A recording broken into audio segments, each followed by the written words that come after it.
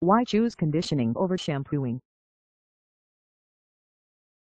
Shampoos and conditioners both utilize surfactants to spawn clean lather, but conditioners are developed with much less antected quantities.